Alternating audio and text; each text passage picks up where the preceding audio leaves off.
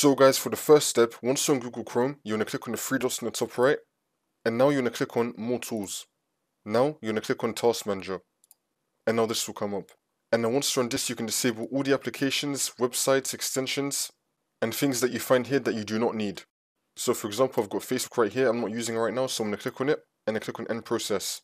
You can end the process on the other things here that you don't need. Anything that has a puzzle picture on it, like this blue thing right here, I would keep it. But anything else, you want to remove that if you're not using it. And now for the second step, you're going to click on the three dots in the top right. Now you're going to click on Settings. And then once you're on this, on the left hand side, you're going to click on System. Now where it says continue running background apps on Google Chrome is closed, you want to turn this off. And it's also going to say show system notifications about Chrome features and tips, you want to turn this off as well. And now for the next step, you're going to click on the three dots in the top right again, and then click on extensions, and then click on manage extensions. And then once you're on this, if there's any extensions here that you don't use, you either want to disable it or you want to remove it.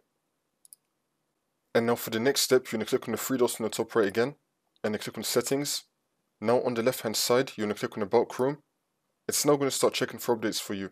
Make sure that your Chrome is fully up to date. And now for the next step, you're going to head over to search again and type in check for updates. Click on it. And then once you're on this, you're going to click on check for updates. Make sure your computer is fully up to date.